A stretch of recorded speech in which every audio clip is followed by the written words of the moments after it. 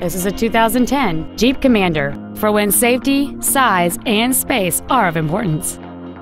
It has a 3.7-liter six-cylinder engine and an automatic transmission.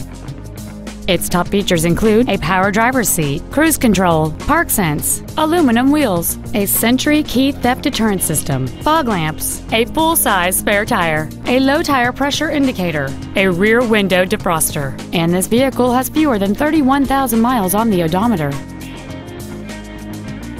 This vehicle won't last long at this price. Call and arrange a test drive now.